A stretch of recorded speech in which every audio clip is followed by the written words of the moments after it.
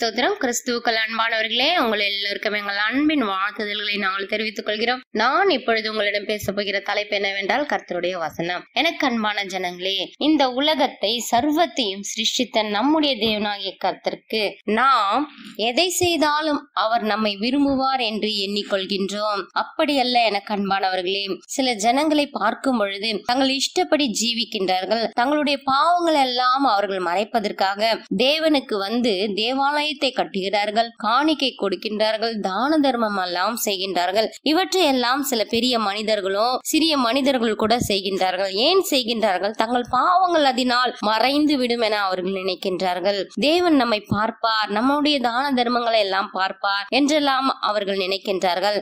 எனக்கு அன்பான ஜனங்களே அப்படியல்ல. அதையெல்லாம் தேவன் விரும்புவதே இல்லை. கர்த்தர் எதை விரும்புகிறார் என்பதை தான் நான் உங்களிடம் இப்பொழுது பேச போகிறேன்.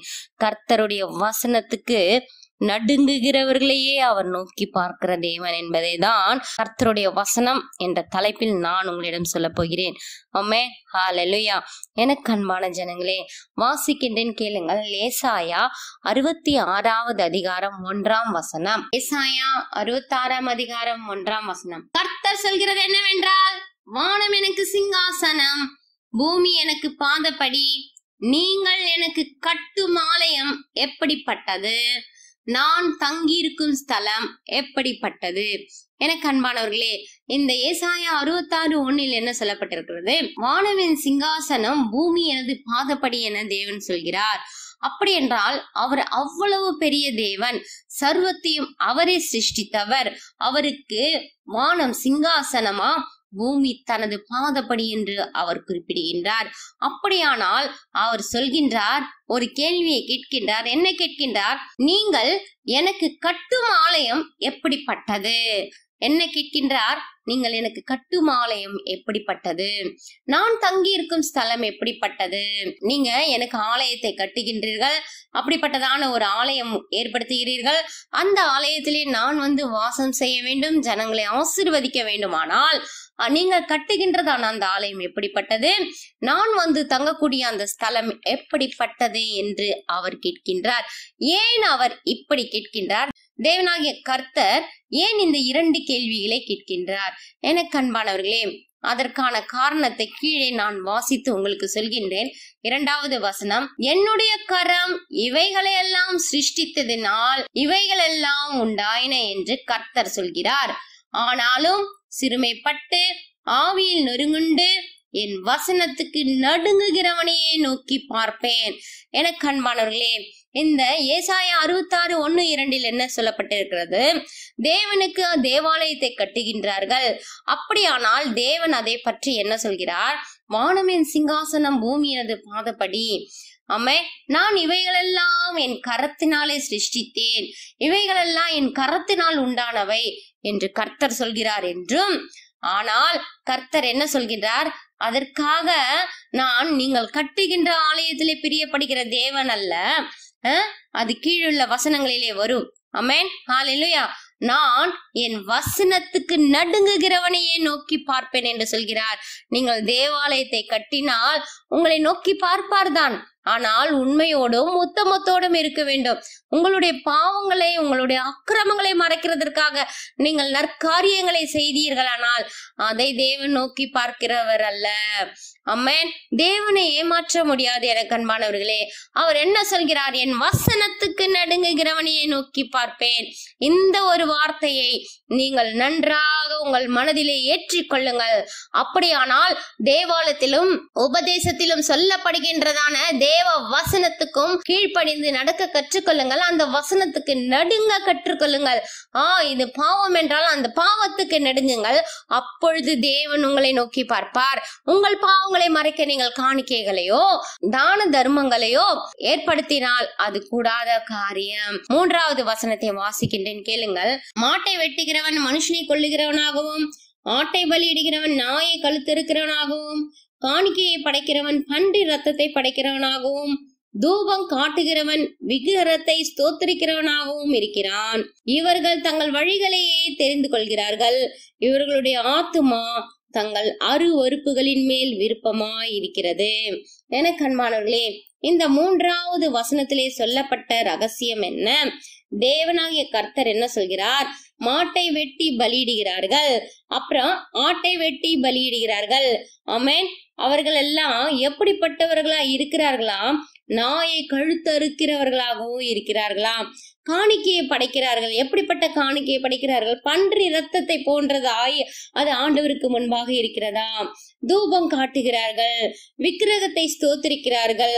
அப்ப தூபம் காட்டுதல் விக்கிரகத்தை ஸ்தோத்திரிக்கிறதுக்கு ஈடா இருக்கிறது என இங்கு குறிப்பிடப்பட்டிருக்கு. எனவேதான் தூபம் காட்டுகிறவர்கள் விக்கிரத்தை ஸ்தோத்திரிக்கிறவனாய் இருக்கிறான். இவர்கள் எல்லாம் தங்கள் வழிகளையே தெரிந்து கொள்கிறாங்க. அவங்க இஷ்டப்படிதான் ஜீவிக்கிறாங்க. இப்படிதான் ஜனங்கள் இருக்கிறார்கள். இவர்களுடைய ஆத்துமாக்கள் மனது எல்லாம் எப்படிப்பட்டதா இருக்கிறதாம் அவர்கள் செய்கின்றதான பாவங்கள் அருவறுப்புகளின் மேலேயே விருப்பமாய் இருக்கிறது என்று இந்த மூன்றாவது வசனத்திலே அவர் குறிப்பிட்டிருக்கிறார். நான்காவது வசனத்தை வாசிக்கின்றேன் கேளுங்கள். நான் கூப்பிட்டும் மறு உத்தரவு கொடுக்கிறவன் இல்லாமலும் நான் பேசியும் அவர்கள் கேளாமலும் அவர்கள் என் பார்வைக்கு பொல்லாப்பானதை செய்து நான் விரும்பாததை தெரிந்து கொண்டதின் நிமித்தம் நானும் அவர்களுடைய ஆபத்தை தெரிந்து கொண்டு அவர்களுடைய திகில்களை அவர்கள் மேல் வர பண்ணுவேன் என கண்பான ஜனங்களே. இங்கு தேவனாகிய கர்த்தர் என்ன சொல்கிறார்? நான் கூப்பிடுகிறேன். அப்பொழுது அவர்கள் மறு உத்தரவு கொடுக்கிறதில்லை. நான் பேசுகின்றேன். அப்பொழுது அவர்கள் கேட்பதில்லை. அவர்களின் பார்வைக்கு என்ன செய்கிறார்கள்? பொல்லாப்பானதை செய்து கொண்டிருக்கிறார்கள். நான் விரும்பாததை தான் அவர்கள் தெரிந்து கொள்கின்றார்கள் என இந்த நான்காவது வசனத்திலேயே அவர் சொல்கிறார். ஆமேன். அது மாத்திரம் அல்ல அப்படியெல்லாம் அவர்கள் தங்கள் இஷ்டத்தின்படி தங்கள் பாவங்களை எல்லாம் அவர்கள் செய்து கொண்டு வருகிறார்கள். அப்படியானால் அவர்களுக்கு நான் என்ன செய்ய முடியும்? அவர்கள் என் வசனத்தை கேட்பதில்லை. நான் கூப்பிட்டு மறு உத்தரவு கொடுக்கிறதில்லை. பேசியும் அவர்கள் செவி கொடுக்கிறதில்லை என்று தேவன் சொல்கின்றார். அப்படியானால் எனக்கு அன்பான ஜனங்களே அப்படியானால் எனக்கு அன்பான ஜனங்களே நானும் அவர்களுடைய ஆபத்தை தெரிந்து கொண்டு அவர்களுடைய திகில்களை அவர்களுடைய கஷ்டங்கள் எல்லாம் அவர்கள் மேல் வர பண்ணுவேன் என்று இந்த நான்காவது வசனத்திலே சொல்கின்றார். எனக்கு அன்பானவர்களே முதலாவது வசனத்திலே கர்த்தர் என்ன சொல்கிறார்? வானமின் சிங்காசனம் பூமியினது பாதப்படி. அமேன் இரண்டாவது வசனத்திலே இவைகளெல்லாம் நான் தான் சிருஷ்டித்தேன். அமேன் என்று சொல்கிறார். ஆனாலும் நீங்கள் செய்கிற காரியங்களுக்கெல்லாம் என் வசனத்துக்கு நடுங்குகிறவனையே நான் நோக்கி பார்ப்பேன் என்று இரண்டாவது வசனத்திலே சொல்கிறார்.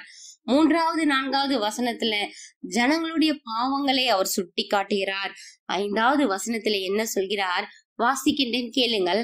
ஐந்தாவது வசனம் கர்த்தருடைய வசனத்துக்கு நடுங்குகிறவர்களே அவருடைய வார்த்தையை கேளுங்கள். என் நாமத்தின் நிமித்தம் உங்களை பகைத்து உங்களை அப்புறப்படுத்துகிற உங்கள் சகோதரர் கர்த்தர் மகிமைப்படுவாராக என்கிறார்களே. அவர் உங்களுக்கு சந்தோஷம் உண்டாகும்படி காணப்படுவார். அவர்களோ வெட்கப்படுவார்கள். என கண்பானவர்களே இங்கு மேலே குறிப்பிட்டதான வசனங்களிலே தேவனுடைய வசனத்துக்கு நடுங்காதவர்களுக்கு தான் சொல்லப்பட்டது. திகில்களை வர பண்ணுவேன் அவர்கள் ஆபத்து நாட்கள்ல கூப்பிடும் பொழுது நான் கேட்க மாட்டேன். என்னை என்னுடைய வார்த்தைகளை கேட்காத அவர்களுக்கு நான் எதையும் செய்ய மாட்டேன் என அவர் சொல்கிறார். அமேன். அவர்கள் மேல் திகில்களை எல்லாம் வர பண்ணுவேன் அமேன்.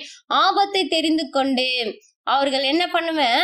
அவர்களுடைய திகில்களை அவர்கள் மேல் வர பண்ணுவேன் என்றெல்லாம் தேவன் சொல்கின்றார். அப்படியானால் ஐந்தாவது வசனத்துல என்ன சொல்லப்பட்டிருக்கு?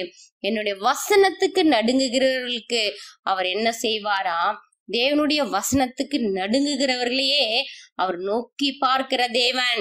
அப்படியானால் அவர் உங்களையும் என்னையும் இந்த உலகத்தில் உள்ள தேவ ஜனங்களை நோக்கி பார்க்கிற தேவன். அமன் அவர் நோக்கி பார்க்க வேண்டுமானால் நம்மை நோக்கி பார்க்க வேண்டுமானால் நாம் செய்ய வேண்டிய ஒரே காரியம் அவருடைய வசனத்துக்கு நடுங்குதல். எப்படி நடுங்குதல்? பாவத்துக்கு விலகி ஓடுங்கள். அமன் அவர் சொல்லதை அவர் செய் என்ற வார்த்தையை சொன்னாரானால் நாம் செய்வோம்.